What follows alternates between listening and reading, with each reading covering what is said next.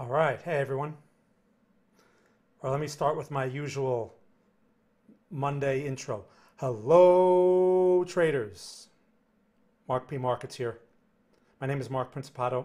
I'm a chartered market technician, and I am simulcasting today on TradingView. That's why I do things a little bit differently on Monday. So here's what I'm going to do. Hey, everyone. Nice to see everyone. CC and Shayshank. So what I'm doing is this. Since I'm on TradingView, and I have to follow the house rules. I'm going to talk about Bitcoin uh, as part of my analysis. I'm going to stay on that for about maybe about five minutes. I'm going to talk about the bonds real quick, okay, because we need to look at that. And then I'm going to spend the rest of the time answering your questions, okay? So if you have uh, if you have you know a market or a stock you'd like to see, please share it in the chat now. And if it's a coin, please put USD or USDT after it so I'm not on the wrong symbol for three hours. All right, so let's get started. This is for educational purposes only. For investment advice, please consult a licensed investment advisor. All right, let's go. Actually, I'm going to put a chart up here of Bitcoin. Hold on, let me get the chart up. And uh, there we go. And I'm in it too. All right, so today is Monday. What I like to go over on Monday is the economic calendar. We can't forget about that. I'm going to spend one minute on it, okay? I'm not going to show the calendar because, you know, TradingView may not like it because it's not their calendar. So you could use their calendar, but I like to use this one. It gets right to the point. All right, so uh, I'm looking at here, first things first. We have, uh, let's see, today is what, the 29th? And tomorrow, so there's nothing today on the, on the schedule. Obviously, the trading day is over anyway, pretty much. We have tomorrow on the 30th, Germany harmonized index of consumer prices, and then we have China non-manufacturing PMI. So those numbers aren't a big deal. On the 31st, for the pound GDP. All right, again, those are not big market movers. All right, on the 31st, also for the Euro Consumer Price Index, not big market mover. Now, on the 31st at 8 a.m. Eastern Daylight Time, we have a speech from, from the president here. We also have uh, the ADP employment change, which comes out at 8.15. ADP employment change could be a possible uh, peek into the unemployment report, which comes out on Friday. Okay, uh, the the non-farm payrolls. That's an important number. Okay, the non-farm payrolls. So ADP can give a glimpse into that. So it's not a bad idea to just be aware of it. You know, no matter what you're trading. Okay, so that's again at 8:15 a.m. on uh, on the 31st. So then we have on Friday, the 1st of April, we have Germany retail sales, we have ISM manufacturing PMI, and non-farm payrolls at 8:30 EDT. Very important. It's probably the most important scheduled economic number we get each month. It's the first Friday of every month. Okay, so that can affect the stock market. It can, it can affect currencies. It can affect bonds. It can affect everything. So you need to be aware of it. Recent numbers, whether they're good or bad, haven't had a major effect like we used to see on the market, you know, years ago. I mean, there used to be some crazy moves. Now it's like, eh, you know, you get some movement for the first maybe 15, 20 minutes, and then it's just kind of, it's not a big market mover like it used to be, but it still doesn't hurt to be aware of it. Okay, so that's the first thing I wanted to cover. Let's get into the next thing here. Uh, I want to talk about Bitcoin. And like I said, then I want to talk about the bond market real quick, and then I'm going to answer your questions. So again, please share your questions in the chat, whether you're on uh, TradingView, or if you're on the other one that I'm simulcasting on here, let me just make sure I can see you guys. Okay, cool. Say hello, everyone, and please put your questions in the chat now. All right, also press the like button. Uh, that's good feedback for me. And if, if you can, register for the channel if you'd like to get some more uh, notifications from, from you know, each platform whenever I'm doing one of these. All right, so let's talk about Bitcoin real quick. I see a question in the chat. What is a good price to buy enter Bitcoin? All right, well, here's the thing. This is what we need to pay attention to. We didn't call, we didn't call this trade, this signal over here. It wasn't a very good signal. You have to understand something. Make sure you guys can hear me with my microphone. Hold on, let me adjust my microphone here real quick. Um, okay. So you need to understand something. I don't want it to be I don't want it to be in the picture because people make fun of me with this microphone. All right, hold on, let me put it over here. Hold on a second. All right, there we go. Okay, so what you need to understand is that um, we we're looking at probabilities, right, around levels.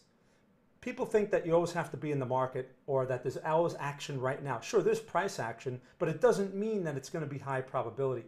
We trade rules, right? And that's one of the things I wrote about in my Trading View report yesterday. And by the way, if you saw my Trading View report uh, and you have questions about it, now would be a good time to put the question in the chat because it's hard for me to go over. I know it sounds ridiculous, but it's hard for me to go over to the TradingView comment section and answer all those. So if you see the report and you want to ask a question, please put it in the chat there. All right, cool. So um, we follow rules is what my point is. And the rules, the reason why we follow rules is because they guide us into high probability situations. Because you can take any trade, right? But it doesn't mean that the probability is going to be good. And that's what people can't see. You have to understand you know, it's human nature to go by what you see because it's part of our sensory way of doing things, right? We have sensors, our eyes, our ears, our taste, you know, our feeling, our touch, right? Sensory. And so we see things, and then you mix that with our ego and all the other emotional baggage that we have, and then we think we're in control, okay? Meanwhile, we don't see what's actually going on behind the scenes. We don't know what's actually going on. So you can't go exactly by what you see. You have to look at the context. So my point is this. We go by rules. The rules have been telling us don't trade Bitcoin. Okay? We follow a very specific swing trade strategy.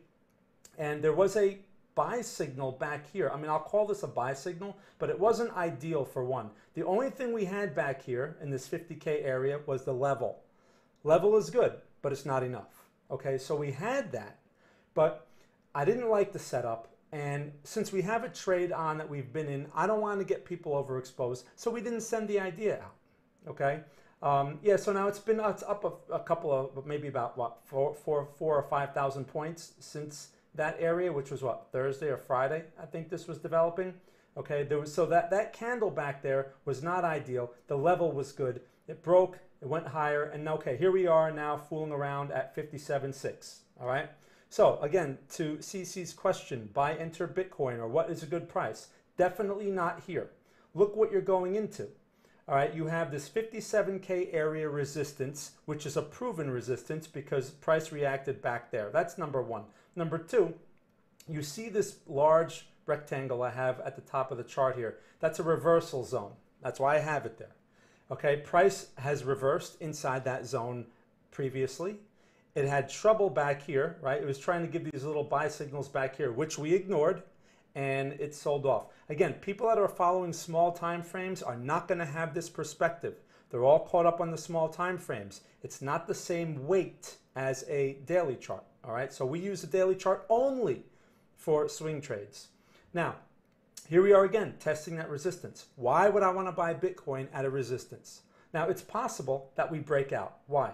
because we have a higher low over here, and when there's a higher low, it's often followed by a higher high in a bullish trend. This trend hasn't changed. It's still bullish, okay? From, from what I can see here, there's nothing that has changed. So bigger picture, broader view, Bitcoin is still bullish, right? As much as all these bears are coming out and saying Bitcoin is blah, blah, blah, it's not blah, blah, blah. It's bullish because that's what the levels and that's what the chart says. I don't have an opinion. I let the market tell me. Now, we are at a resistance. So this is conflicting. Yes, it should be strong. We should theoretically make the higher high if the trend is going to stay intact. And 66K is the next inflection point up in that area. All right. The question is, can we clear this resistance? That's where the risk comes in. I'm not willing to take the risk. All right. It's, the probability is low. It could fake out again. And remember, when we send out trade ideas, we're not the only ones in it. Right. So we do have to take that into account um, and be very responsible and conservative in that sense. So if the risk doesn't look good, not taking it. And the, here's the problem with the risk here: it may fail, right? If it fails to if it fails to break out, and we're buying this thing at 57k, 50k is the support. So what I have to risk 7,000 points to hopefully make 7,000 points? Hopefully, it needs to clear 61k. Not worth the risk. So we leave it alone. There'll be other opportunities to buy. Now, if you're a day trader, none of this is relevant. Okay? I'm not talking about day trade strategies. You need to know the difference. If you don't, you probably shouldn't be trading real money, especially on a day trade time frame. Now, here's what I do want to see for a new swing trade long on Bitcoin. I want to see a test of either the 50K support. I don't know if the market's going to deliver that, but that's what I'd like to see. That would be ideal. Or I want to see a higher low, okay, in this area here. That's what, around the 54 and a half, around that area right there. That's where I want to see a test and a reversal.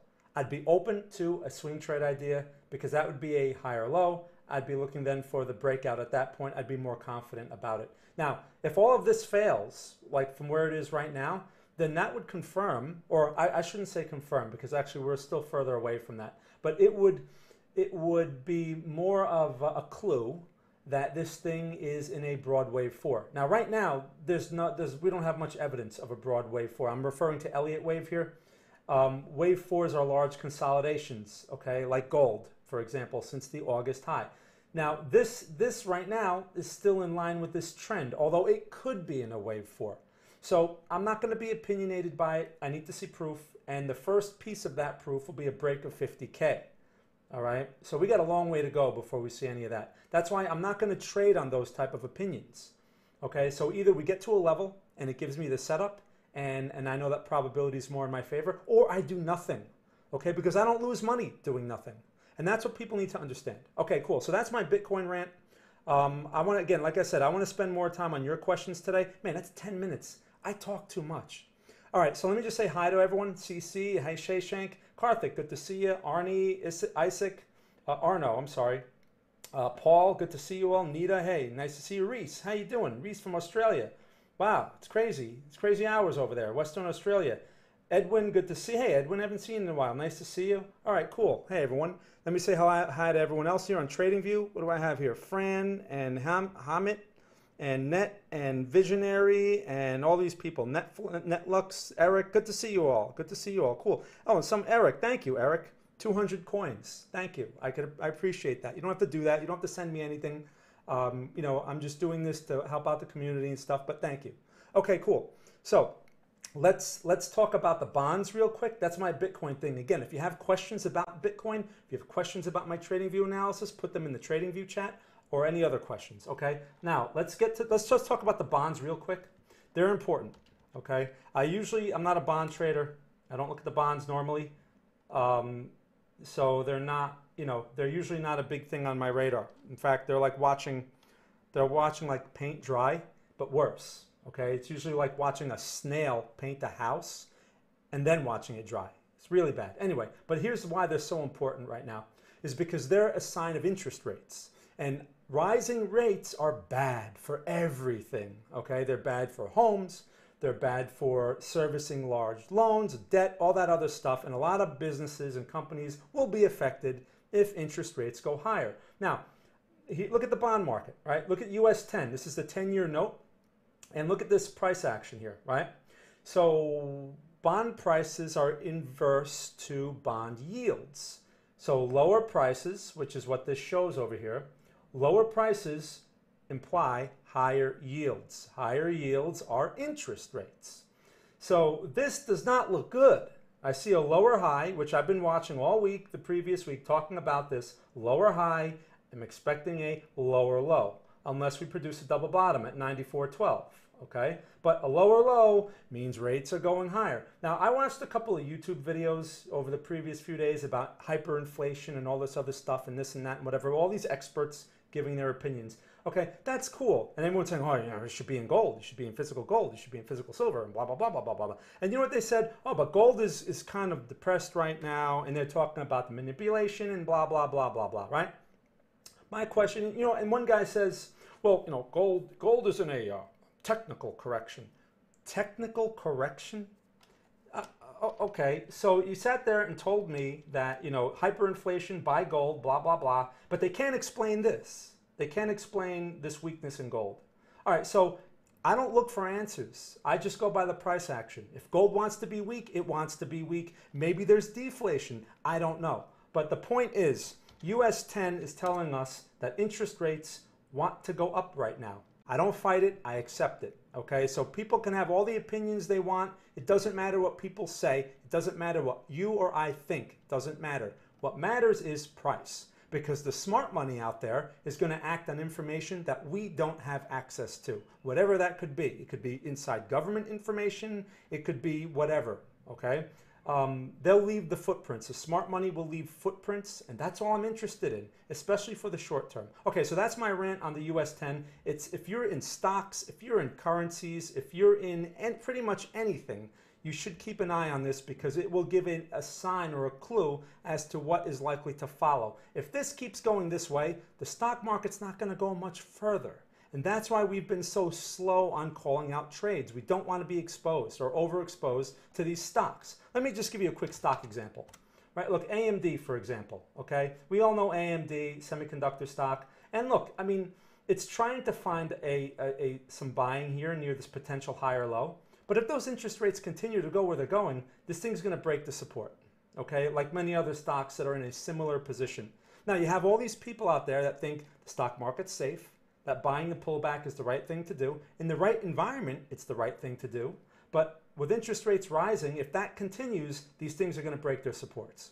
Okay? I mean, they're not going to have much of a choice. So that's what you have to watch out for. Anyway, so that's my rant on that. Let's get to your questions now. Those are the only two things I wanted to cover.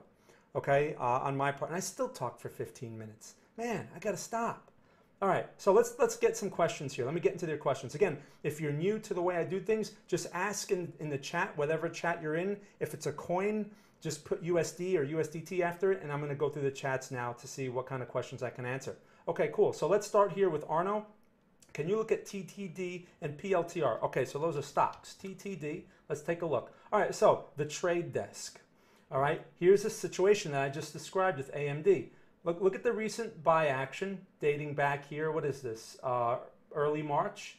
And we're retesting that area. Okay, so the general trend has been bullish for some time, and then we've been pulling back this corrective structure that we've been looking at. I'm going to highlight the corrective structure. We've been looking at this for a couple of months now. And now we're testing, we're going back into that support area. So look, location, great for a potential long, but there's no price action that supports that. Okay, in fact, like I said, if that interest rate situation continues and the stock market, let's just take a look at the S&P real quick. If the, look where the stock market is. All right, wow, this is how it closed. All right, it looked much worse earlier and it closed strong. So that's interesting. And it's not in line with what the bonds are doing. I would expect more weakness here. So whatever the reason is, it is. It's testing the highs. So in this situation, if the stock market pulls back, all right, now I'm talking about relative strength, and TTD is fooling around at a support while the while the S&P is pushing a high, what happens when the S&P really pulls back? This thing will likely break the support. So that's why I wouldn't touch this thing relative to where the S&P is right now. I wouldn't touch it. Even if it's not highly correlated, I'd be very careful with this because these things if the stock market's rising, there should be some support. You shouldn't see a solid red close like this. I mean, we still have about 30 minutes before this closes, but still, you shouldn't see that. Okay, so I would stay away from it right now. Keep an eye on the location, but I wouldn't be getting involved in that, especially as a swing trade. Okay, PLTR. Visionary. Hey, Visionary, thank you. I appreciate that. Okay, ARC, CEL. Okay, cool. No problem. I'm going to take a look at those. Thanks for uh, asking, and thank you for the coins. I appreciate that. Okay, so uh, Palantir. You know, this has uh, been a popular stock in recent times. Okay, again, decent location, broader trend bullish. Okay, and we're getting a potential double bottom after a nice pullback over these previous few months. Again, similar situation to the S&P. All right, now let's take a look at the NASDAQ just for comparison purposes. Now look at the NASDAQ. I've been concerned about this, right? And I've been talking about the mixed market situation. NASDAQ isn't closing as strong, although it came back. It was minus, what, 120 points earlier today? And it, and it came back strong. But look, when you watch stuff like this and you turn on like the mainstream news and this and that, they're going to say, oh, the stock market bounced and blah, blah, blah, blah, blah, blah, blah. But you have to keep an eye on the bigger picture, all right? Because that's really all that matters, whether it's a swing trade, whether it's an investment. The bigger picture resistance is here. So, how does that relate to PLTR? Well, PLTR is sitting on support. Now, the NASDAQ is trying to bounce. I'd be expecting this thing to at least trying, at least be trying to bounce as well. And it's not. Okay, it's going back to the support. So I don't like it right now. I like the location, but the, the general market, the NASDAQ, the S&P, they need to pull back. And then this needs to not break support.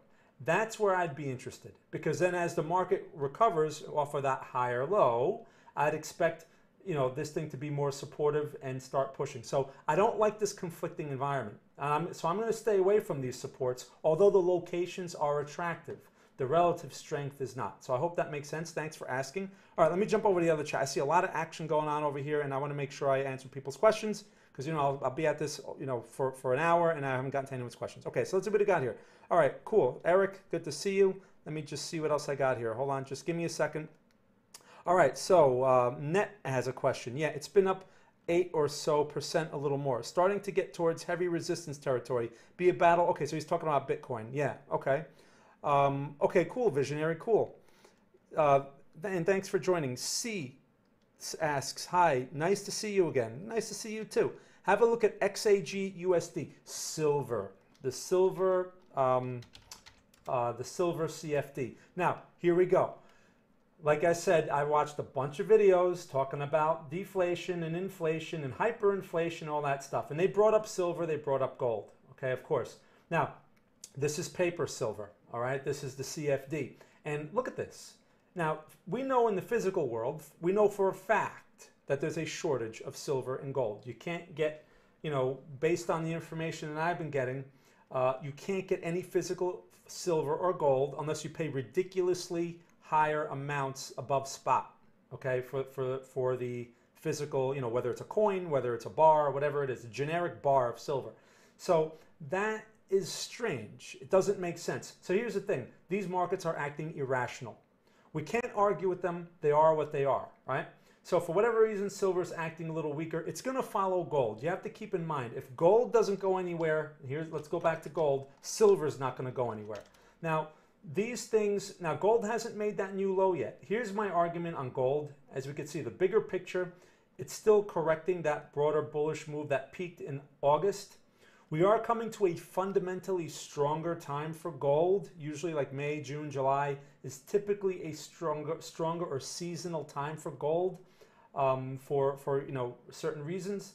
And maybe gold will find a higher low during that time and start its rally. But right now, all we can see here is there's a lower high established and it's going for the low, all right? And there's no reversal candle in there right now. That's gold. So if there's no reversal there, I don't expect silver to really do anything. XA, uh, XAG, USD. So I would hold off on this CFD. Now, keep in mind, silver is, is um, there's been this massive short, and they've been talking about this forever in silver. So one thing to keep in mind is when silver goes, it's probably going to go, all right, like big. So that's where bigger picture fundamentals, you have to keep an eye on that. Keep that in the back of your mind. But as far as right now, I'll tell you the levels to keep an eye on for, for this thing. And that would be this range low area here. What is that? Around 25, 24 and a half area, right? And that's where it's fooling around right now. This is not a bad place to be picking up physical silver, but as far as this price action, paper silver is not going anywhere. All right, so this is an inflection point. Your next level, if that's cleared, which again, these things just do whatever they want to do, um, you're looking at the 22 area. All right, so those would be the areas I'd be most interested in for something like silver if you're interested in the CFD. Now, for those of you that do not care for the CFD, and I don't blame you because it could be a pain, because you have to pay interest on these things through swaps, uh, trying to hold them longer term, you can buy stock. Okay, like AG, for example, is a silver mining stock. First Majestic Silver. It's not a very expensive stock. It's at 1533. You could see recently when when there was there was that talk not too long ago about the um, you know with the low float, high short interest stocks. This was one of them, and you could see this thing went nuts. Right, it went to twenty four dollars and then gave it right back. But this one is probably because of that low float, high short float situation. You combine that with a short squeeze in silver this thing is probably in a good position to go somewhere. And I do like this double bottom location, even though it can drift lower. Uh, for longer term, this might not be a bad idea or a good alternative to something like XAG. All right, so I just wanted to point that out. Thank you for bringing that one up. Again, a lot of conspiracy theory stuff with that. Don't get wrapped up in that inflationary argument and this and that, whatever. They've been talking about hyperinflation. I don't know how we're going to get that until the bonds stop doing what they're doing. Okay, well, interest shouldn't be going higher if our dollar is going to be worthless. So, you know, all this talk about the dollar is not going to be the world reserve currency anymore, and just be careful with that. It doesn't hurt to have some sort of precaution, maybe buy, you know, 5% or 2% of your net worth or whatever in physical gold or silver and just put it somewhere, store it in, you know, somewhere safe. And that's like your hedge against something like that. But don't go nuts. There's a lot of that. They use a lot of that, those fear techniques because a lot of these people are just trying to sell subscriptions. You have to be careful with that and look at the source. I mean, I was very um, uh, aware of the information that I was watching. I was very aware of who was delivering the information and what you know what they had to sell on top of it, even though they weren't actually selling anything directly. Okay, anyway. All right, so thanks for that question. Let me see. Bears are coming out so they can scoop up some more for themselves. Okay, I mean that, and that's as far as gold and silver go. Yeah, I mean manipulation. They like to push these things lower because hey, that's that's an old, very old game, and I definitely don't doubt that. Okay, especially paper in the paper world, they can do whatever they want in the paper world. Okay, Eric, could we look at EW structure and fib levels of Bitcoin on the daily? You just answered my EW oh, request. Okay, cool. Okay, no problem. All right, let's jump over to the other one here. All right, so uh, Andre, how does, okay, let's take a look here. These look like coins. Are they coins? Um, is this a coin or, or not? Oh, Discovery Incorporated. Oh, man. Okay, so he mentions this uh, possible bounce. No way. I mean, look, I, I understand why you, you might look at that and say, well, it's nice pullback. Certainly, Nice pullback, all right. Um, and you have this little tail situation, but the problem with this is the momentum is too sharp. Okay, so in these situations, you could try playing that bounce, but it's very risky. All right, um, this momentum may continue. What I like to see in these situations, because this gets a lot of people into trouble, believe it or not. They buy the pullback, oh yeah, it should bounce. And it might bounce a little bit and you stay in it and then it goes for that next low, right? Wait for stability. So right now we know, based on this thing, the low is 34.60. This thing right now is at 41.50, okay? So I would like to see stability develop, meaning a failed low or double bottom in those mid 30s. That's where I'd be more confident trying to play a bounce because that tells me that that bearish momentum is drying up, okay? Because if the bearish momentum is intact, it should not make a double bottom. It should go lower. It should keep pushing lows. So if it doesn't push that low, that means something is changing. It doesn't guarantee I'm going to get the bounce, but it tells me at least that the bearish momentum is no longer in favor, and at least probability favors a, a bounce better in that situation rather than buying a single bottom like this. Okay, that's usually I go into that when I want to see stability. It's because these move, the bearish initial bearish move is too sharp, and this thing can continue. Okay, so that's the answer for that one. Thank you for bringing that one up. Uh, VIAC. Wow, same situation. Viacom. Well, I don't know what's going on here, but uh, obviously these cable networks are having problems. Um, let's see. So the high the other day was $99, and this thing is at $45.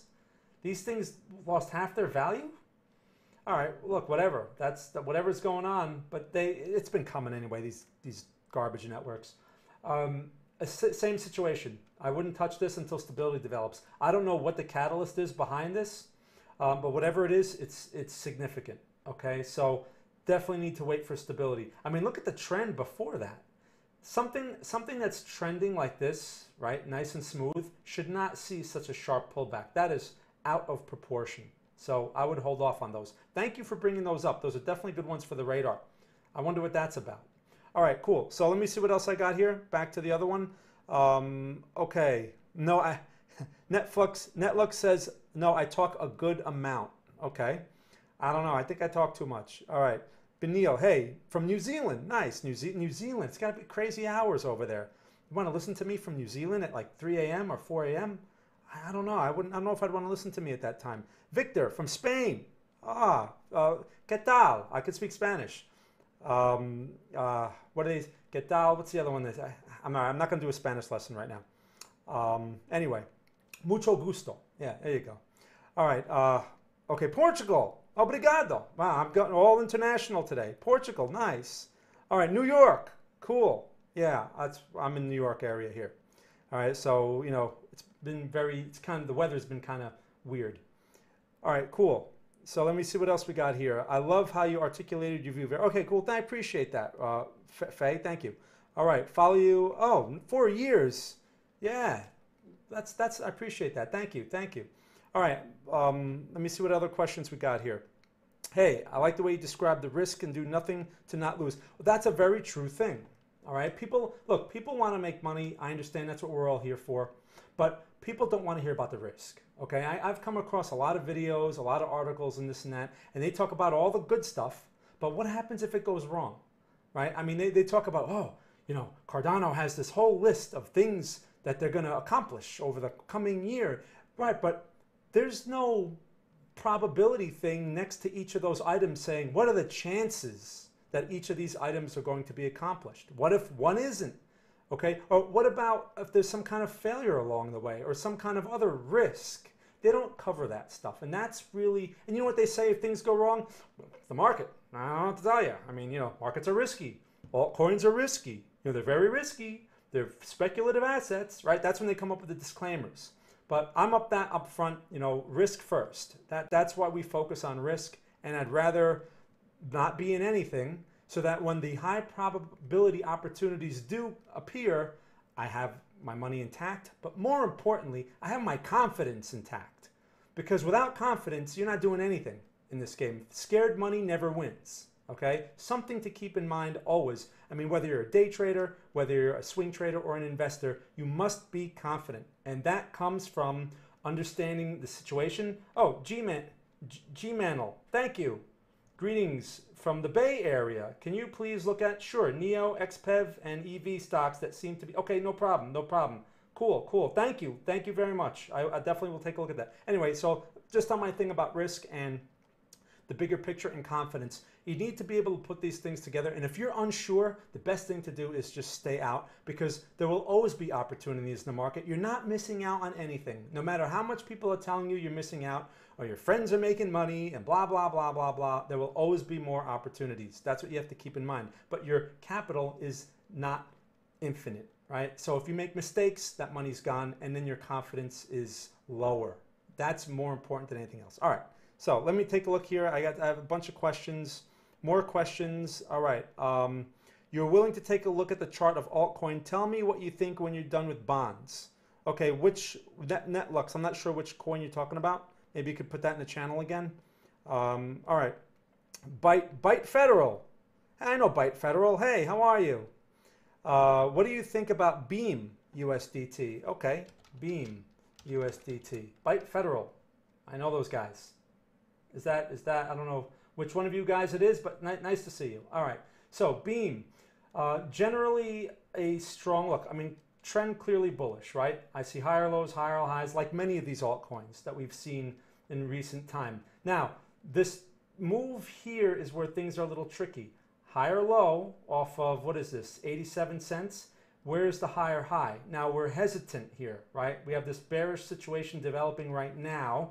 Doesn't mean it's a trend change this thing could be in a consolidation. All I know is we have a potential lower high, right, which is unconfirmed.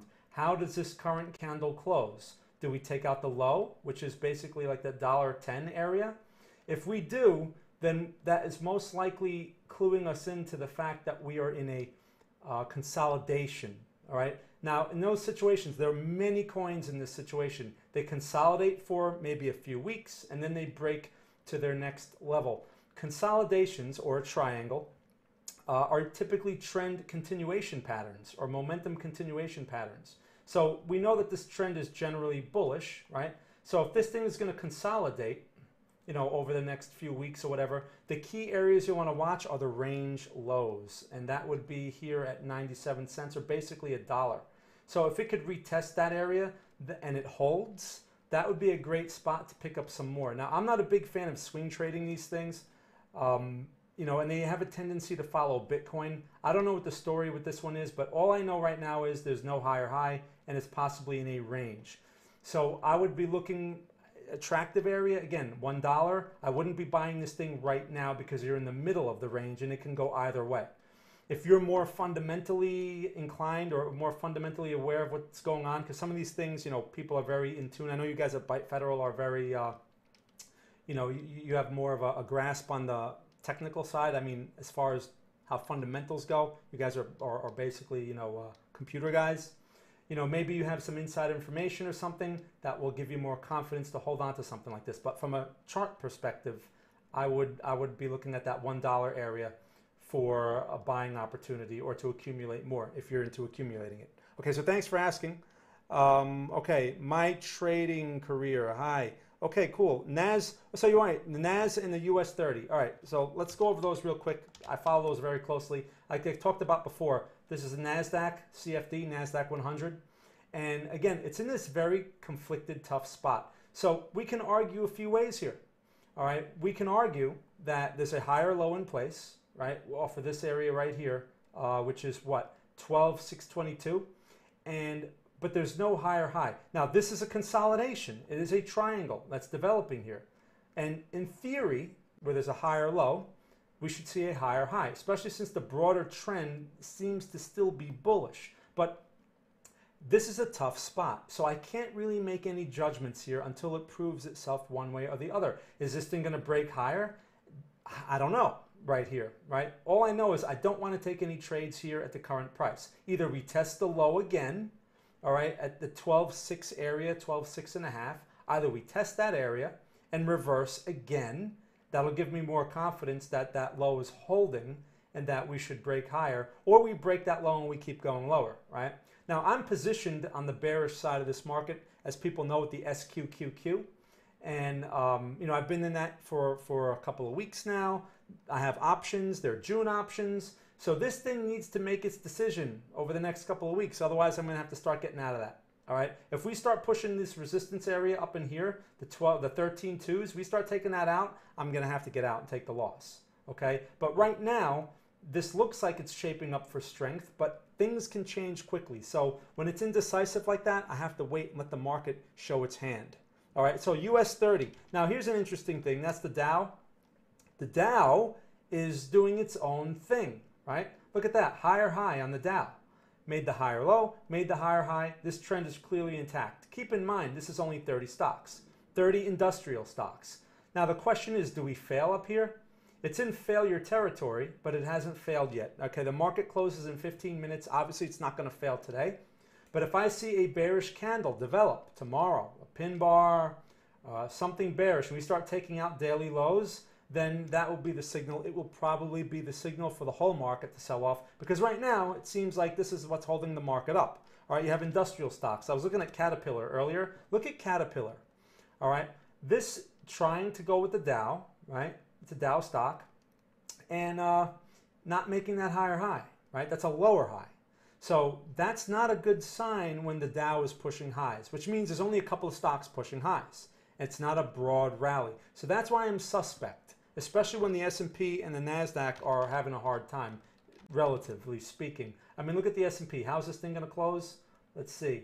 So it's it's getting indecisive, right? One minute look it's looking strong. Let me get rid of this block, this box, and and now it's kind of hesitating again. I don't like hesitation at resistance levels. I just don't, and I'm not betting on this breakout, especially with the way interest rates are looking. Okay, um, this is more likely to fake out. So hope that answers your question there. Let me go back to my other chat. Um, okay, let me see. All right, Paul. Okay, cool.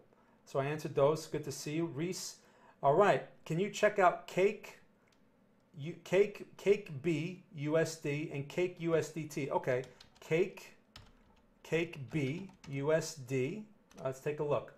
All right, so here's Cake BUSD. So it's Cake against Binance Coin. All right. Um, nice general trend. I think this is one of those. Someone was talking about this earlier uh, in in our in our chat.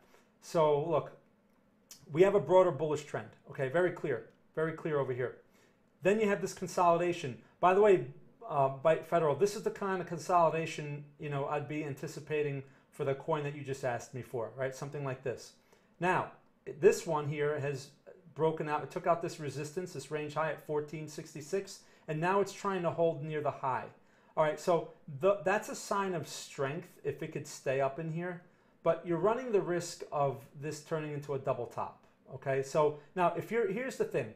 The question that you have to ask, or you can only answer for yourself, is are you in this or are you looking to get into this? If you're in this, there's nothing to do here but let the thing do its job. All right, because this is not really, this is there's no sell signal. You have an inside bar developing. If it takes out this inside bar high at 18, I would expect momentum to take this thing higher and at least go for the test of 21. You know, that could take a few days to develop. I'd be expecting something like that because this thing is generally strong. Okay, so that's if you're in it. If you're not in it, this is where you're taking a lot of risk, right? So I'm, if you're in it, I'm expecting or I'm assuming you're in it from a great price. So letting it do its job is not a very risky thing to do, right? Because you should have some green. But if you're not in it and you have to take new risk, well, the question is how far can this thing pull back? If you buy this thing right now at 1708, well, your support is like in this area right here, okay? It's not exactly at that bottom at nine and a half. It's gonna be between like nine and 12, okay? So if you're willing to take that kind of chance, um, you know, that's where you're measuring your risk from. If you're buying this thing at 17 and you're saying, all right, I'll hold it till 10. That's $7 of risk. That means in order to justify that risk, you need to make $7. What is the probability that this thing is going to run another $7 easily? That, that we don't know, right? All I know is you're facing a resistance at $21 where it can fail, and that's what, $4 away? So the reward risk in that in that from that perspective doesn't make a lot of sense. Okay, I have to risk seven dollars to hopefully get through that four dollar barrier. That that's that's not favorable. So I want something where you know the upside is is got a lot of potential, clear potential. You know, I'm I'm risking three dollars to make five or six or, or more. That's what I want to see. Okay, I'm not risking three dollars here. Now you can argue and say, well, what about this candle, the red candle low at 1533? It's too small. It's too tight.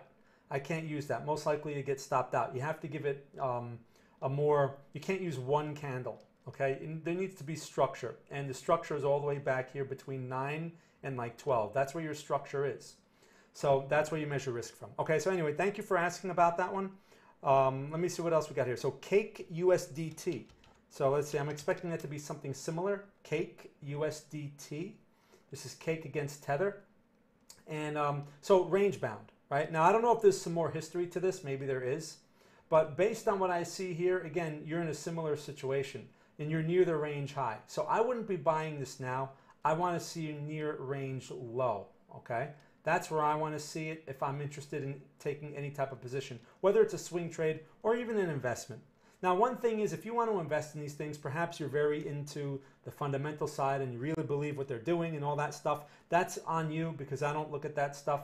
But uh, as far as accumul- accumulating inventory, right? If you want to do that at such a level, because you're like, ah, oh, screw it, I-, I need to be in this. Okay, well, you can adjust for your risk by just taking smaller, smaller position. If you were going to normally buy, you know, 100 coins, you buy 25 coins, all right? And if it goes lower, all right, then you can add into that, you can average into that because that was what you were going to do anyway instead of putting it all in at one price. If it goes higher, hey, at least you're still in it and you want to add on a breakout or something, you can add, you know, that way. At least you're controlling your risk for if things go the wrong way. Because when they go the wrong way and they go quickly, the problem is we tend to rely on emotions. And when that happens, because especially if you don't have any kind of game plan or any type of expectations, and you have a lot of other positions, and they're all going red at the same time, you know, then you, you get into like, I need to do something, I need to do something. And usually you do something at the worst possible prices. Either you're banging it out, you're getting margined out of stuff or whatever, and it's at the bottom of the market, right? That's usually how extreme it has to get. So you want to avoid being in that type of situation by controlling your size at riskier prices if you're looking at it from that type of long-term perspective. Okay, so cool. Thanks for that question. Let me jump back here. Um, stream buffering. Anyone else or just me? I don't know. Let me check my, my connection. I, I didn't see any connection uh, errors here. Usually I get errors. I don't see any. So that could be just you. Um, net. Okay, so Eric, H bar, H bar, all right? H bar USD. Let's take a look. This one's been a lot of talk. Now, this is a nice looking chart, okay? Nice, clear bullish trend. that's intact. Nice clear cut higher low and nice attempt at the high. Okay, very simple. I like all that. All right, all signs of strength. Now, again, if you're in this, I would let this thing do its job. Let it see if it can continue. Now, you do have this large tail up here, so someone's selling something because obviously they can see the previous selling area, right? I mean, it's the same type of reaction, right? You have a potential double top. Now, for that reason, I would not be taking new risk on here. I would not buy this now. Uh, if you're in it, like I said, give it a chance, see if it wants to continue this momentum where there's a higher low. It should be followed by a higher high. So this could be the start of it. But if you're trying to take on new risk now, the risk you face is it goes back and tests this low at 31 cents. So do you want to buy this thing at 38 cents and then watch it go to 31 cents? I, I don't. So I'd rather watch it go to 31 cents and reverse again. And that's where I'd be willing to take new risk. Okay, even if it's for a swing trade. Like I said, I don't like swing trading these things. I'm not on top of all of their fundamental, um, you know, all the new things are coming out and all this and all that. I'm not on top of their fundamental stories. I just look at charts. So, and I don't like the location of this chart. Doesn't mean it can't keep going. I just don't like the location and I'm not willing to take risk at these prices. If I'm going to take risk, I want to see at least a better price. Okay? And I usually tend I usually think from a very short-term oriented swing trade perspective just to keep, you know, just to uh, keep that in mind. Okay, so thanks for bringing that one up. Um, let me see what else we got here. Doesn't doesn't gold look like a cup and handle on the monthly? So so uh, Benil, so that's a that's a good observation. Now monthly, all right. So let's take a look at a monthly chart. I don't like to look at time frames that are too far out. Like I won't look at weekly unless or monthly unless I just really want to see where we are on top in terms of bigger picture levels. I mean, this situation, yeah, sure, you can argue, you know, you're you're going back to like 2018 to 2018 low and you know you're saying uh, you know cup and handle. Yeah right possible but that's and that's cool but you can't get opinionated by that. You have to also look at the recent price action and that recent price action is not um, you know it's not giving us any there's no buy signals there right although the location is definitely attractive and maybe it will follow through in theory and fundamentally it should but I don't go by logic because logic doesn't guide markets. Okay, um, irrational, irrational sentiment does. So gold wants to go lower for whatever reason, go right ahead. You know, I'll buy some more gold mining stocks, uh, which is what I'm interested in. So anyway, thanks for bringing that one up. Okay, uh, Netflix one. What is that? Uh, Sown. Oh no, one one USD. Okay, sure. O N O N E. Hold on. And, and, again, I want to thank you all for your great questions. I'm going to do my best to answer them all, especially those people that gave me that that, that sent me coins. I, I definitely want to get to your questions. So thank you, and I, I will get to those. Um, before I cut this thing off, before I turn this thing off, I will get to those questions. Okay. Um, all right. So Harmony U.S. dollar. All right. And now this again, this is a daily chart. So let's take a look. Again, great great trend. A lot of these things look like this, right? I mean, recent run-ups, these are great. Look at the current price action though. So people get all caught up, right? You're gonna go on YouTube, you're gonna watch videos about it and this and that, and they're gonna say all these great things, and this thing's gonna, next million dollar maker, blah, blah, blah, they're gonna say, right? Meanwhile, you got a bearish pin bar developing, right? I do not wanna buy into a bearish pin bar. I don't care how great it is. So here's the thing. You have a potential double top with a bearish pin bar. If I was inclined to short these things, that's a short signal. That would be a very aggressive short signal because it's going against the trend. But that's what I like to see when I when, when I want to short something. Okay. And again, I'm not saying short this thing. Just want to be clear. But that's what I want to see if I was going to do such a thing, right? Which means don't buy it. I would not buy this now. If you're in it, Hopefully you've locked in something along the way, I would hope, by, by the time it's reached these prices, and now that it's developing this potential sell signal. So if it pulls back and you're interested at, interested at a more attractive price, I would look at this level here. All right, hold on, let me get a, let me get a horizontal line there. Range low at, uh, what is that, 14, 14 and a half cents, around there. That's what I'd be looking at. Okay, that's an attractive area relative to this broader trend. If it breaks that, which again, anything is possible, you know, I'd be looking at this area here because that's where you have some price noise. Okay, um, so you're looking at what 10 cents, 10 to 12 cents in that area right there. That's the next support area I'd be looking at, and that, of course, the, the lower support would be more attractive for a larger time frame type of trade, like a position trade, right? That would be a more attractive price, whether you're averaging into that or you're starting to buy it there. If it takes that out, then I'd, I'd be waiting for this thing to find some stability, all right, before doing anything else. Oh, hey, everyone, hey, uh, Asagel, thank you, and Faye, thank you, thank you. Again, you don't have to send me any coins. I'm going to get to your questions, but I see some questions there. Thank you, thank you, and I'm going to answer them. Really appreciate that. Thank you. Okay, so uh, that's the story here with one USD. All right. Thank you for asking that question. All right, let me go back to the other one. I have to jump back and forth here. How am I doing with time? Uh, okay, not too bad. So let's see what else we got. Again, I want to try to answer as many questions as I possibly can. Um, okay, hey, Rick is back. I see Rick. Let me just, I'm just going back here. I'm going through the chat. Man, I got a lot of questions. Um, okay, hold on. Let me, let me just catch up here. So I, I, I was cake. Um, okay, so I think I got Shank here. Hold on a second. Um, oh, whoa. Wait, wait, wait. Just catching up, just catching up. Sorry about the delay. Just give me a moment here. All right, here we go. So I have, oh man, it just seems like more and more questions just piling up. All right, Tesla. I'm in Tesla. Attractive area. Okay, Edwin asks about Tesla. Very popular stock. Netlux. Thank you, Netlux. Uh, thanks for all you do. If you have time, sure, sure. I'm going to try to get to everything. All the people that send me whatever, I'm going to do my best to answer your questions because, again, I appreciate that. You don't have to do that, but I, I will do my best to answer your questions. Thank you so much. I do appreciate that. Okay, so Tesla, very popular stock. A lot of people trying to buy this pullback. Okay, tough stock because you know people are probably confused. It's supposed to be good. All right, well, here's the thing.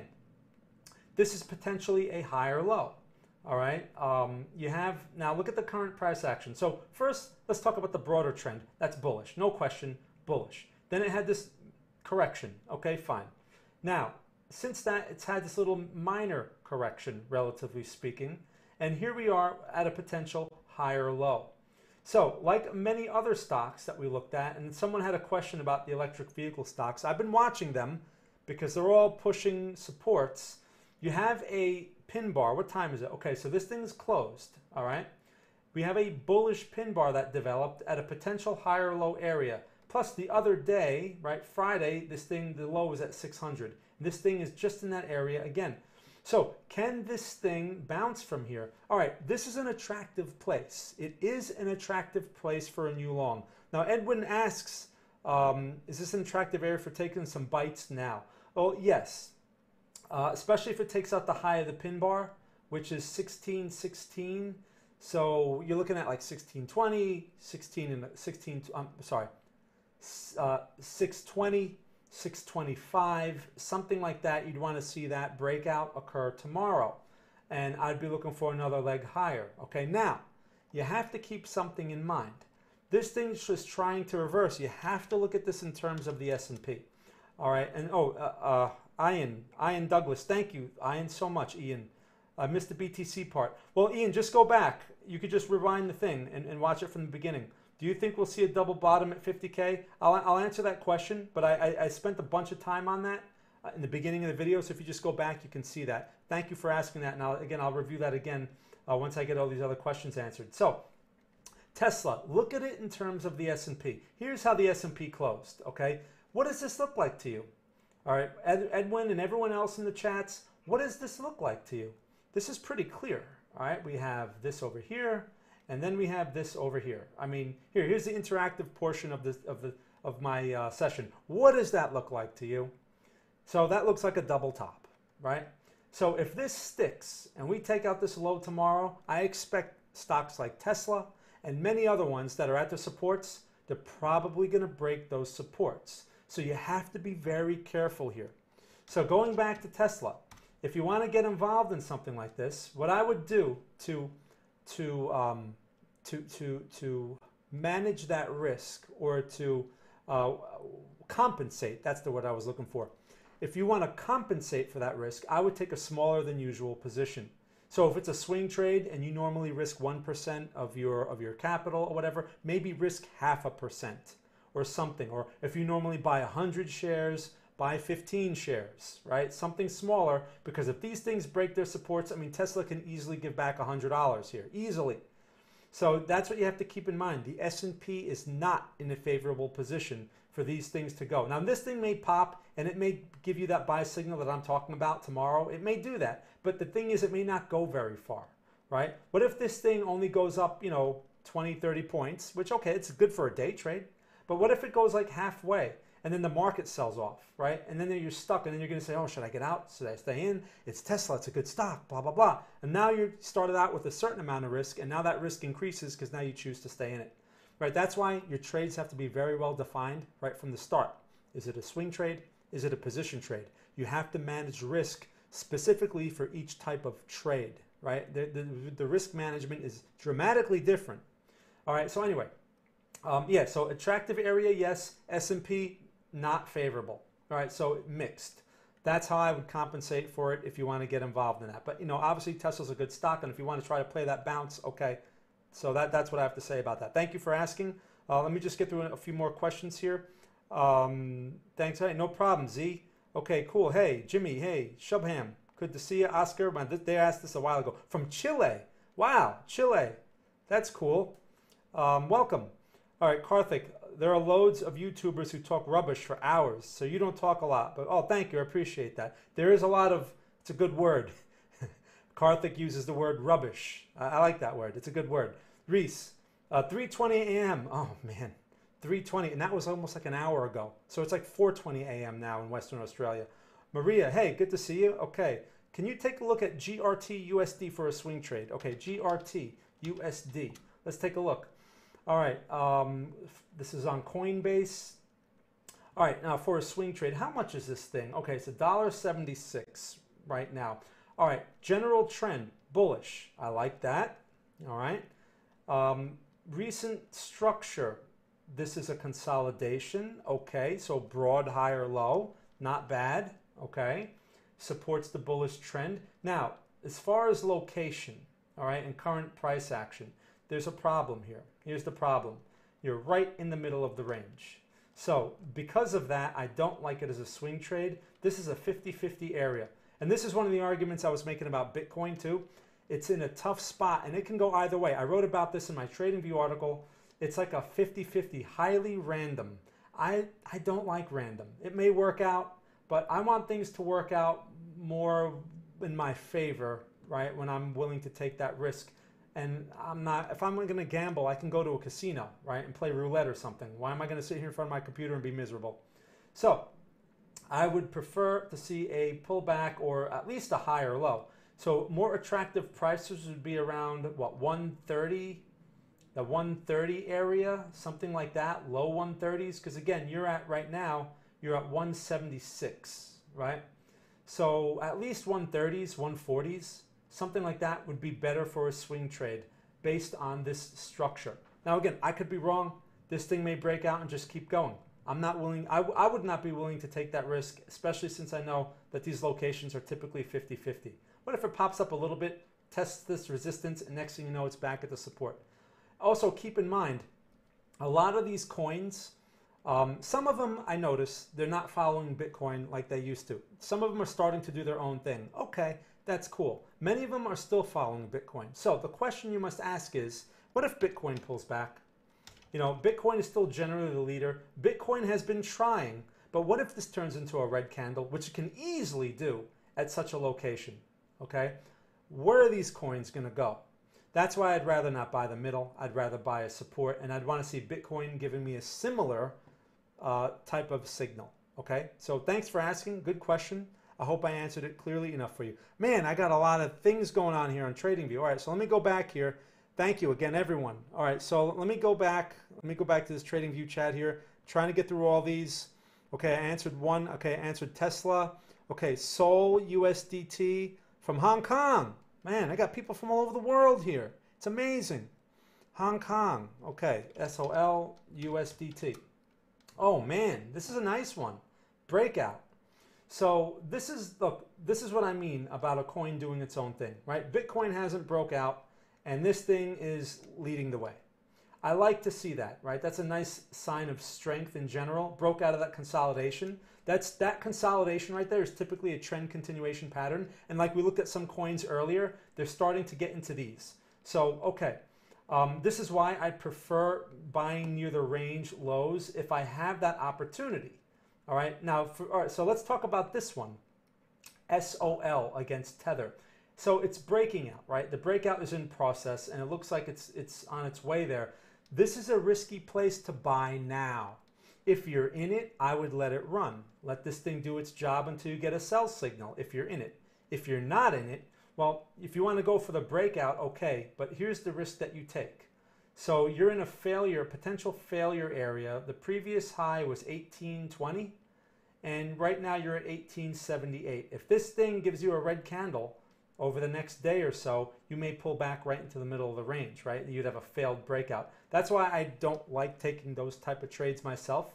I'd rather wait for that pullback into the range and then try to buy it. So, no, and you may say, but it's in the middle of the range. Why would you just told us not to do that? Well, if it breaks out first and then it tests the previous high of the range, which should now be acting as a support, and it just goes a little lower, which would then be the middle of the range, in that scenario, I'd be open to it. Why? Because we broke out first, and now we're pulling back, we're shaking out all those people, and now buyers are likely to return. That's what I want to see if I'm going to buy a breakout, or that's a more conservative way to play. Now, doesn't mean it'll do it. This thing may keep going. The thing is, I don't like the risk of buying at these prices. So you have to decide. Maybe you're more aggressive, and you're like, well, I'll play that game. Okay. But that the risk you face is this thing going back into the middle of the range, which is around uh, 14 15 $14.15 in that area. And you have to be willing to take that risk. Also, since we don't have any price history on this thing, don't know how far it can go, right? Is this thing going to double from here? I mean, I could do some projections. I'm not going to do them right now. But, um, you know, projections will at least give me some potential inflection points. When there's no projections on the chart, one thing you could look at are whole numbers. $20 would be your next whole number. So that would be one inflection point to consider in terms of measuring reward and risk. And you're basically at 1876 right now. So the reward risk, if I have to buy this now to try to get to $20, but I have to risk, you know, that's $2 about or dollar and a half, and I have to risk $4, it's just not worth it for me. Okay, so thank you for bringing that one up. That's how I would treat that one. But very nice general structure, nice breakout. Clearly it's strong, okay, right now anyway. Okay, and you don't want to chase these things. All right, so let me let me let me get to some of these other ones here. Um, uh, hope you are holding on to some HBAR. Accumulating more at 26. Yeah, I, I don't I don't have any HBAR. Um, okay, so I'm starting to get to some of these these these coin things here. Visionary, and again, thank you for the coins. Arc and CEL. Man, he sent that like an hour ago, 44 minutes ago. Okay, Arc USD. All right, again, so same situation. I got to try to speed this up. Same situation. You're pushing that high. Don't want to buy this thing now. These are good if you're in them, okay? These are places to be locking in profit and distributing risk for those that, you know, think these things are going to just keep going like this. This is where you want to reduce risk, not put on more. So that's what I have to say about the current levels. If you want to buy into this thing, at least wait for a test of an old resistance new support which at this point would be around $1.59. So right now you're at $2.35. So if this thing can pull back below $2, maybe into the one, 160s, 170s, that would be a more attractive spot. Of course, it would have to give you some sort of stability than buying this thing now. If you're in it, like I said, you lock some profit in and then you let it run until it gives you a sell signal of some kind. A sell signal could be a red candle close and then the break of that low. Again, I'm talking about daily charts. Don't confuse this stuff like on 30 minute charts. They're not going to help you very much for these type of trades. Okay, so that was ARC, uh, CELR USD, CELR USD. Okay, let's take a look at that one. That's Celer Network. Man, these things are going berserk. This is, I have to tell you, seeing chart after chart that looks like this, when they go vertical like this, right? Everyone's piling into these things um, that's a sign of the herd mentality. Okay, so when they look like this and the whole world is in, and you have this sign of froth where all this money is just chasing these these coins that you know, I don't know. It's like the dot coms. You have to be careful. Anyway, let's talk about this. So you have a potential double top situation, right? Uh, even though this made the higher high, this is still a general area, right? And all I'm interested in is the general area. So I would look at that as a potential double top. Uh, you have a red candle close, right? It's almost a pin bar, not exactly because you have a lower uh, candle wick there. Um, you have an inside bar developing now. So if you haven't taken profit, you, this is a situation where like this is where you definitely want to lock something in for sure. Okay. Uh, as far as letting it ride, you do have a sell signal now. So I would hold off if you're not in it and see how far this thing can pull back. Right now, your supports are at around 8 cents, around there. If it takes that out, um, which is, again, that's a minor support, you're looking at this old resistance right here at about just over 6, maybe about 7 cents, right around this area here, right? That's what you're looking at. So I would hold off for something like that. Remember, a lot of times after these things have their run, they go into consolidations, as we've seen with many of these. Like, for example, Link. Look at Link. This is a trade we sent out uh, a few weeks ago. And I mean, look at the look at this consolidation. Will this eventually break out? Well, that's a trend continuation pattern. Hasn't broken out yet, but this thing stopped us out actually. Okay, uh, and it tested that range low again. So that's just an example. A lot of times when they when they look amazing and they look like this and they're gonna go they're gonna go higher forever. A lot of times this is what's next. Okay, so just keep that in mind keep that in mind with these, these nutty stocks and these nutty coins that are doing these nutty things right now. Just something to keep in mind. It's better not to buy highs, okay? And occasionally the market will reward you for buying a high. You buy it, it goes higher. Oh, it was easy. But that habit is a bad habit and it will come back to bite you in the future when you do it and you get caught in a false breakout. You'll say, oh, no, it'll, it'll come back. It, it comes back. It comes back. And it won't come back. So just something to keep in mind. Not a good habit. Okay, so thank you for bringing those two up. Let me see what else we got. ZEC. They say it will hit 1500 USD before. Oh, interesting. Do I believe this? Definitely not. Okay. Any if, if they say it, I don't believe it. I'm a contrarian. Um, why don't I believe that? Because it's a lot of hype. There's a lot of hype out there. Let's look at the chart. Now the chart. What what price is this thing right now? It's 149 dollars. Okay. ZEC. Um, isn't this thing on Coinbase? Let's see here. Uh, is there a USDT version? All right, let's take a look at Binance. They're all pretty much going to be the same. Um, so here's the thing. So we have that consolidation, right? Trend bullish. We have a consolidation trying to break out right now. I would not want to buy the range high. That's for sure. Whether it's a swing trade, even a position trade. Why buy the range high? Now he says that they are saying that this thing is going to go to 1500 by August. I don't know who's saying that, but again, if it's public information, chances are it's um, unreliable. So the chart again will not tell us that it's going to go to 1500. The chart will tell us how to measure risk. Okay, that's what really charts what are, are, are great for that. And your risk right now, buying this right now, you run the risk of buying right into this resistance. I wonder when they said that. I wonder if they said it like, you know, today or, or, or yesterday. Now, so risk is not favorable here or up here, where all the people are going to be piling in thinking, no, it's going to make a higher high. This is where risk of failure is the greatest. You want to buy a support, okay? Right now, your supports are here. So you're looking at uh, 129, 130 ish and you're fooling around at 149 right now. So if you're going to take a chance on this one, at least wait for the 130s or 120s, if anything. And wait, also, you can't just step in at that price. If you want to start averaging in for bigger picture, okay, small bite. But if you're trying to take a swing trade, you need some sort of confirmation. Again, a level is not enough. I say that a lot. People just want a level, that's good enough, I jump in.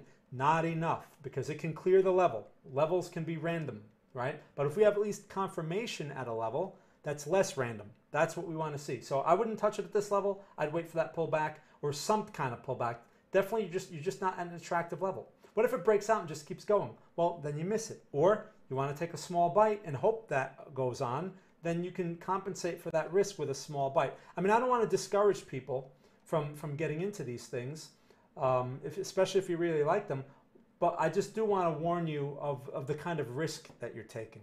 Okay, that's probably a, a more value anyway to you. Okay, ah, sir, can you explain why Bitcoin can but altcoins keep grow keep growing? That's a good question. All right. So, well, Bitcoin, look, they're doing their some of these things are doing their own things. Okay. So hold on. Um, Bitcoin obviously is is being treated differently than a lot of these altcoins. Altcoins have some kind of great idea that there's some kind of problem that they're solving. Bitcoin is a mature currency that a lot of uh, institutions have been investing into, right? A lot of these altcoins, not really. So the altcoins are a highly speculative space. They're like penny stocks, and there's all this all this grand talk and all this great potential. Just like the dot coms 20 years ago, I was actively trading back then also, so I saw it all. Um, and they so if the altcoins you see all this froth developing, it's just froth. So that's that's how I see that. So we compare Bitcoin to something like you know some of these other coins that that people have just brought up. Like um, I mean, what were some of those coins we looked at here? Like like was it ARK? I mean, come on with this, right? It's ridiculous. So this is this is froth. Do these coins really have that much value? Are some of these NFT related coins? I mean, maybe they are, or, or they're the you know whatever. They're just the flavor of the moment, right? So keep that in mind, please, when when you're going into these things. And with YouTube and some of these other social networks out there, they amplify the herd mentality, right? They amplify. They tell everyone, oh, these things, you're going to miss out, blah, blah, blah. So they amplify it further, just like news would amplify stuff 20 years ago, right? We didn't have Twitter, we didn't have Facebook, we didn't have YouTube, we didn't have any of those things to go to. All we had was the news on the TV, right? The, the financial news. And they would amplify stuff, but it was nowhere near as exaggerated as this. So you have to keep that in mind with these penny these penny coins, as we'll call them, these altcoins. Okay, so hopefully that answers that question. I know I'm running out of time here. Let me see how I'm doing. Okay, oh man, yeah, I talk a lot and I still have so many questions to answer. I'm probably not going to be able to answer them all, so I'm going to try to get through all these. The people that asked all these these coin these these questions and they donated some coins, I, I'm going to try to get to those because I appreciate your your effort. Let me just go through some more of these other questions. And then um, again, if I missed your question, I apologize sincerely. Please come back to my next stream. And I stream a couple times a week, just not on TradingView. So, um, you know, please ask again if you can. Okay, Karthik, BNB, uh, ADA. All right, so those are popular. Binance Coin, BNB, USDT. Let's take a look. Okay, so uh, perfect example of a uh, consolidation, right, or potential potential trend continuation pattern. I like the consolidation and I like the previous trend. Okay, those are signs of strength. Can't argue with those. But current price action, middle of range. I don't like that. I don't want to take risk here, especially as a swing trade. This thing's an expensive coin, 273. I, am not buying this here. I wouldn't buy it. So you're, you're going right into that range high, taking a lot of risk there, right? I'd prefer to see another test of the range low. Remember, these things are consolidating. So we don't know when they're going to break out, right? They're going to break out at some random point, maybe based on some news or whatever, but we don't know if this is going to continue now for that breakout. So if anything, I want to get into a price that's more advantageous for me, okay? Not the people that bought at those great prices and now they're going to unload on me now, which is what they should be doing. So I want it here, okay? And since you're in a range and you're not exactly trending, there's a chance that you can revisit a better price. That's what I'd be interested in. That's around, what is the low here, 224? So you're looking around those low 220s. That's a point of interest. And then, of course, you want to see some sort of supportive price action at that point. But that's where I'd like to take risk from, not here. Okay, so that's Binance Coin. Thank you for asking about that. Let me see what else we got here. Um, ADA. So Cardano, right? A lot of this talk about hype. I mean, this is like the king of, of altcoin hype. Um, this is the one where I saw on, on the video where they were saying, look at all these events that, you know, that they're gonna they're gonna be doing this and, and they recently got onto Coinbase. They they got one of their events, you know, one of these events. Uh, they they they, they uh, achieved their blah blah blah. Okay, yeah, that's nice. Um, let me know in advance before they get listed on Coinbase. Okay, tell me the date and all that stuff so I could buy it before everyone else. That's what I want to know, not after the fact. Anyway, so here's Binance. I'm sorry, Cardano. You're in the middle, right here, middle of range, no good. Okay, so that that does not fit the criteria. I would, if I'm not in it, I wouldn't want to be in it. If you're in it, at this point, again, you're inside this range. If you're in Cardano, I know a lot of people are, I would give it the chance to break out and see if it can. If it can't, at least you have an opportunity to potentially sell here near the range high. Uh, I'd be looking for failure up in there to unload more coins. Because again, a lot of these are just speculative froth, okay? And when, when they're out of favor, and you know, we, like we saw them for two years, and a lot of these coins were garbage for two years. And we'll see a period like that again. When we see that, you don't want to be caught in these things, right? So I would be looking to reduce risk up in the area. Unless it breaks out, you want to give it a chance. Again, assuming you're in it um, now.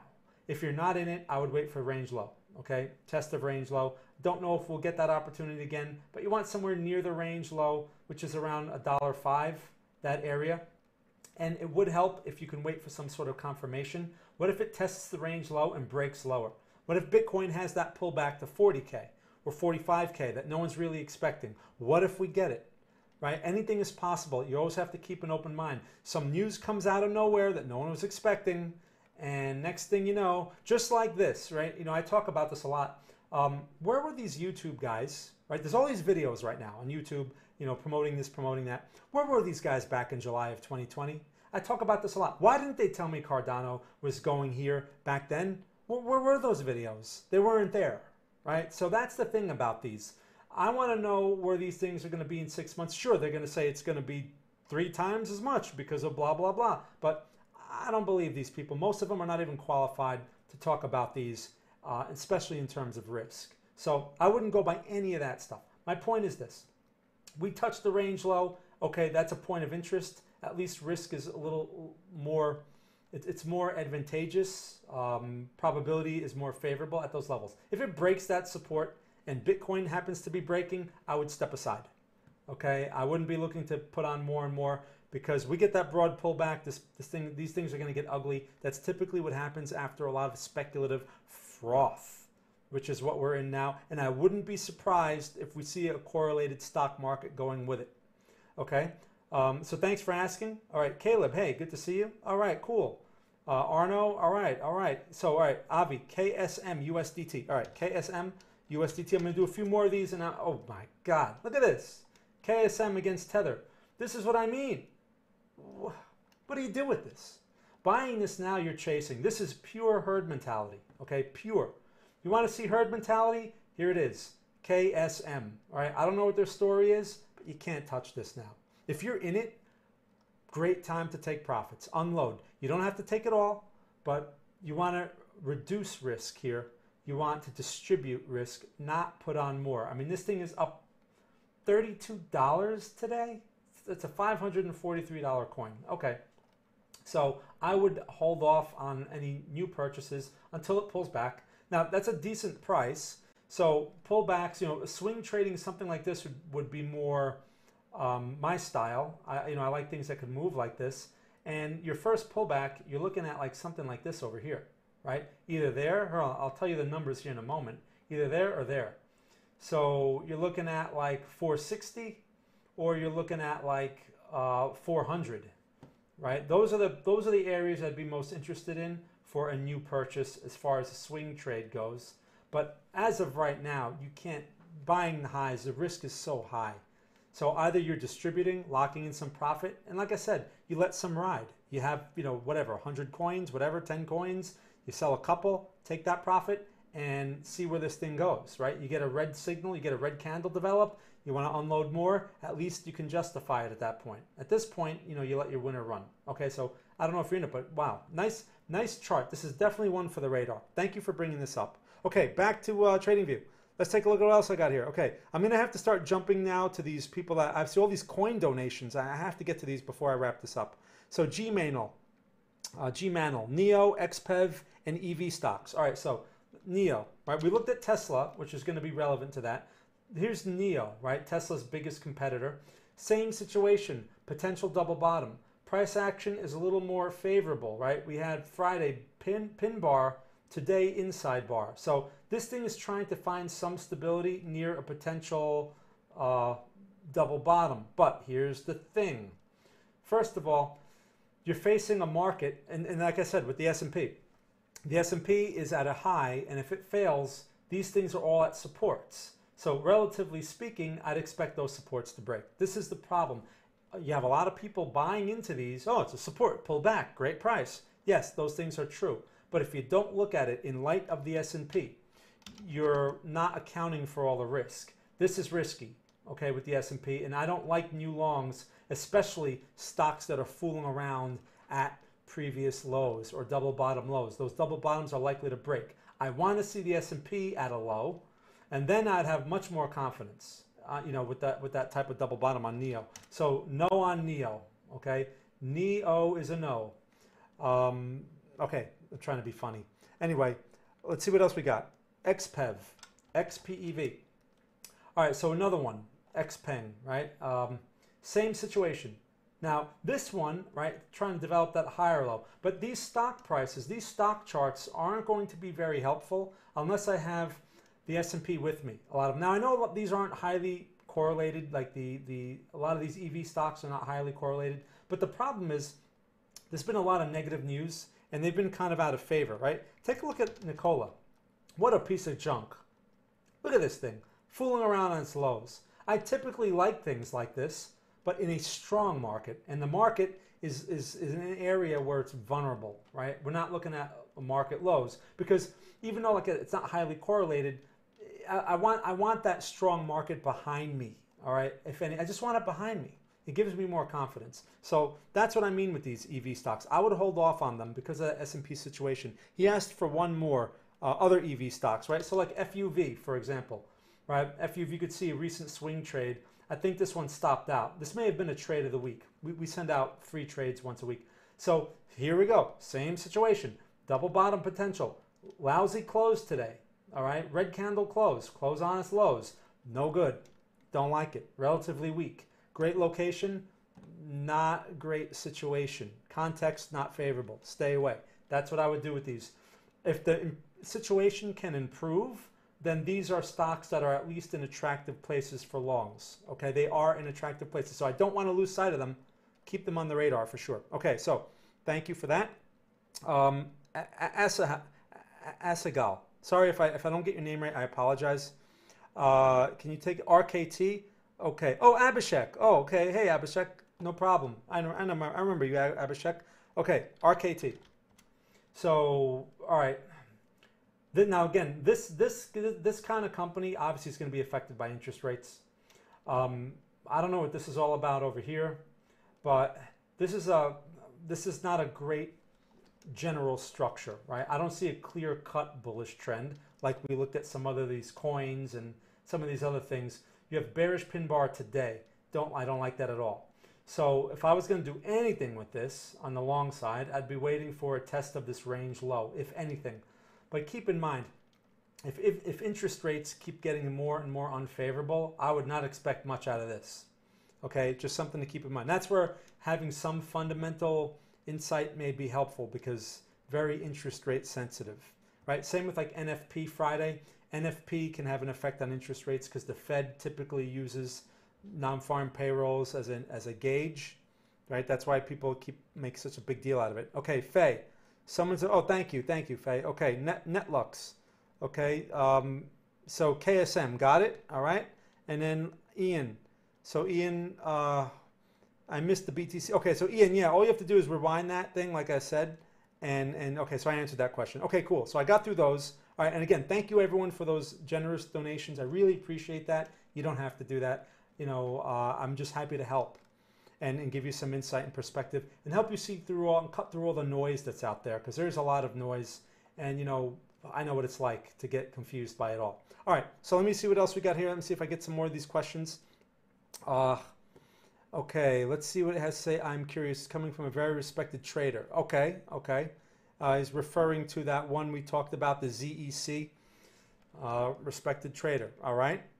Um, yes. So, so yeah, Ian. All you have to do is go back, Let's see. I'm wondering if I'll get double bottom at 50K. Well, all right. So that I do believe, look, I see a bunch of those questions on BTC. If you don't go back, I, like I said, I wouldn't touch Bitcoin here. I, resistance area, don't like it.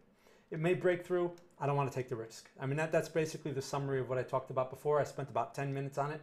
I want to see the double bottom at 50K. I'd be more confident there if it can deliver that. If it breaks out, it breaks out without me. I mean, we do have a swing trade on, that, you know, one third of it. It's a small position. And hey, we have the luxury of letting the market do its thing, whether it wants to do it or not. That's up to the market. But uh, I wouldn't put on new risk here. Okay, even though we do have the higher low, I do expect a higher high based on that, unless we don't get it because we have this vulnerable area. So it's tricky. We have to let the market show its hand. Okay, let me go back to this other chat here. Man, I'm so behind. All right, I'm going to be wrapping this up here in a few min- in a few minutes. Let me just see if I can get through a few more of these, see if I can answer them quickly. Okay, Rick, I know Rick's been asking this uh, CRO, so let me see if I can get that in there. Hold on, let me just go back. All right, no, we had a question about DOT. Cavi asked about DOT. All right, so let me get through a few more of these. DOT was a, a trade of the week we sent out a while back, a few weeks ago, and here's the thing. So nice, here, see the situation on DOT, and this is a nice learning example. Range low, right? Dot went to the range low.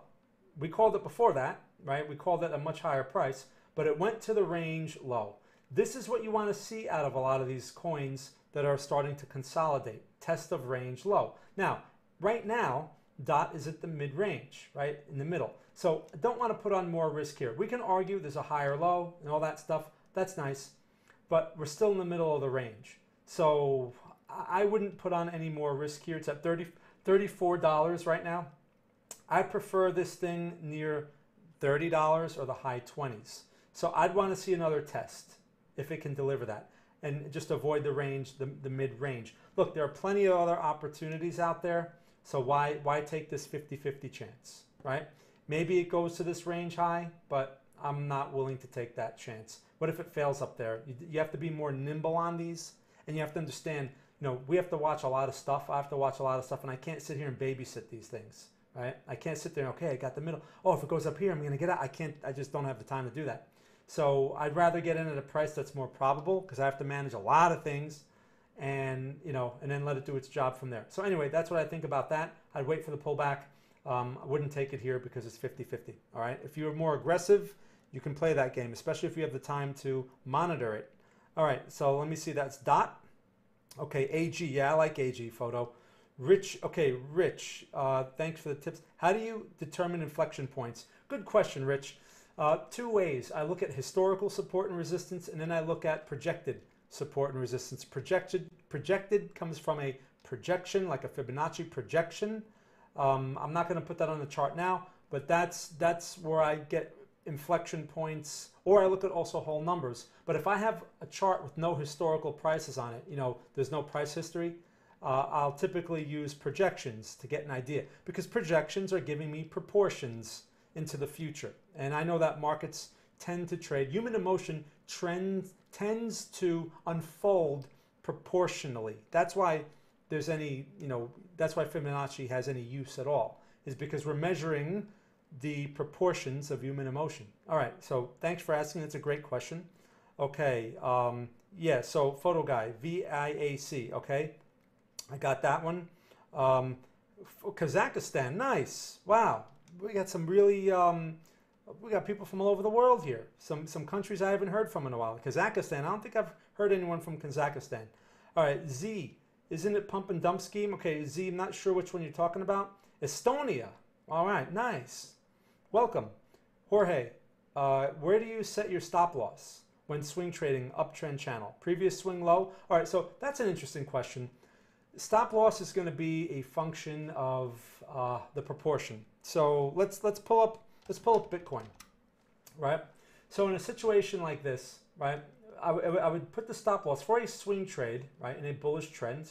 Bitcoin is in a bullish trend if I got into the trade back here, which is where really I, that, that was where the low risk signal was, we didn't call that because I didn't like the setup developing.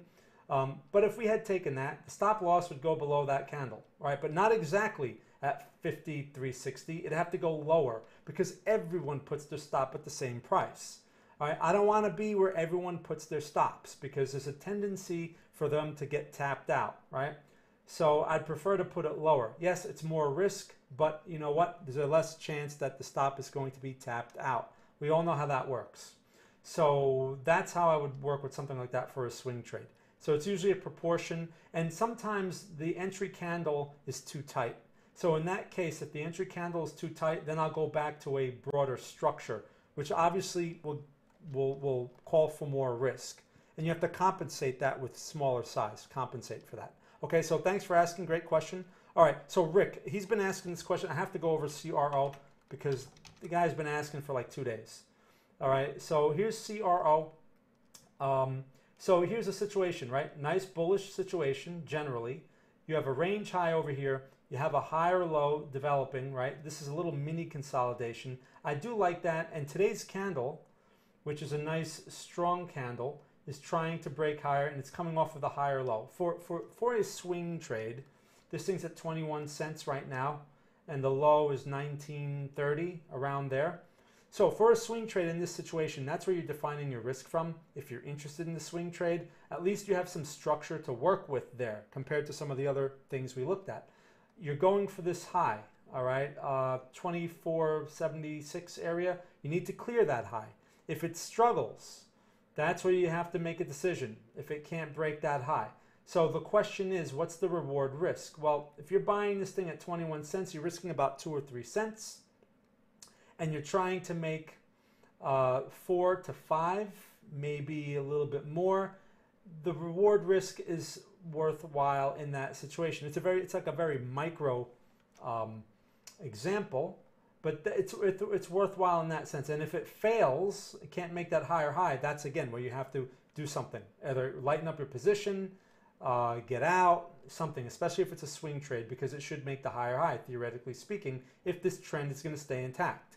Keep in mind, a lot of these coins are going into consolidations. This may go into one. So we don't know yet. It needs to fail at the high in order to get a better clue.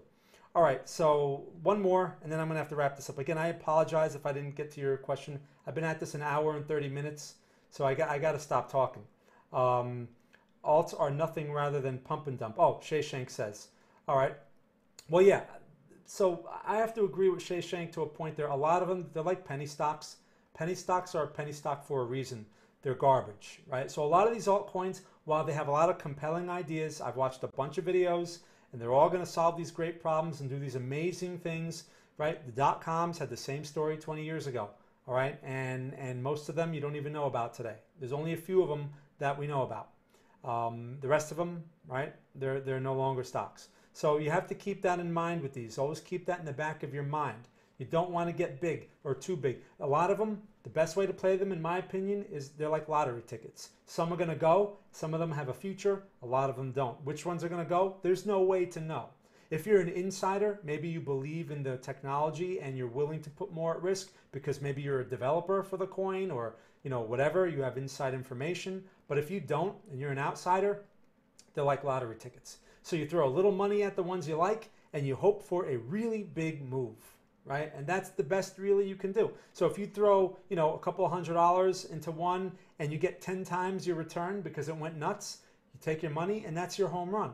Are you going to turn a thousand dollars into 50,000? Probably not. So I, I, wouldn't get over exaggerated with those dreams, although on YouTube there's a lot of people selling those dreams, okay? So just something to keep in mind. A lot of people don't like the stuff that I say because it's very realistic.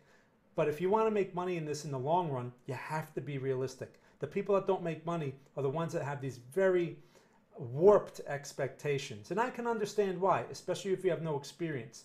But you have to have, you know, you have to be able to see through that noise. And the more time you spend with it, the more you'll start to recognize. Okay. Um, okay. So let me let me start wrapping this up here. Um, let me see what I got here. All right. Hold on. Um, man. All right.